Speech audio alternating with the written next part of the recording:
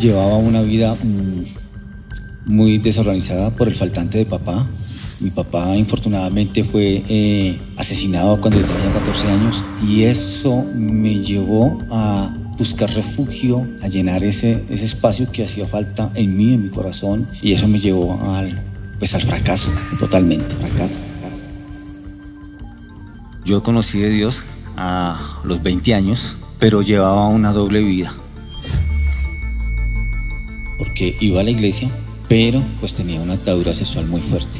Bueno, y quizás tuve que pasar por una enfermedad para tener un verdadero encuentro con Dios, eh, porque en el 2010 eh, fui diagnosticado de VIH positivo.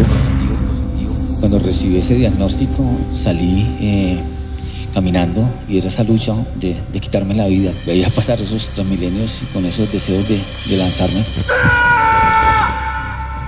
Y me acordé de esa prédica del pastor Andrés Corson cuando dijo que aún en los momentos más difíciles uno tenía que darle gracias a Dios. Y me arrodillé ahí, en pleno centro, levanté mis manos y le dije, gracias Dios por el VIH. Porque con VIH o sin VIH te voy a amar, te voy a seguir.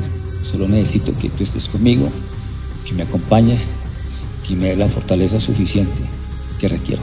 Yo tomé fue la decisión de buscarlo, eh, acomodar el lugar.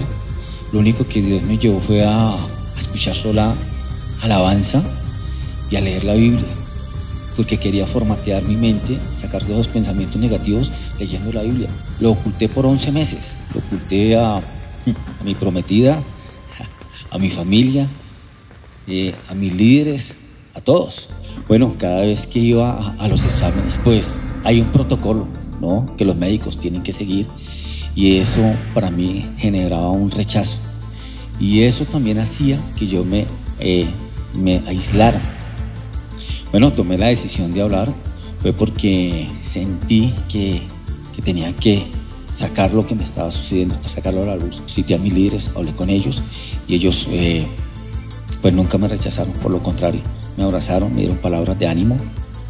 Mi lucha eh, cambió porque ya no me sentía solo y me acostumbré que ya quizás mm, mi vida y lo que quedaba era pues muy corto por, por el tema de la, de, la, enfermedad, por lo que me decían los médicos. Pero ese último examen que, que, que tuve, que cambió todo, que me dieron los resultados y cuando vi que era negativo, wow, lo, lo, lo, lo viví, lo grité. También tuve la oportunidad de arrodillarme y darle gracias a Dios. Se rompió algo en mi vida, algo que me impedía avanzar. Volvieron los sueños en mí, a volver a soñar que me podía casar, que podía tener una hija, que seguir avanzando con Dios y nunca lo soltaré ni nunca lo dejaré.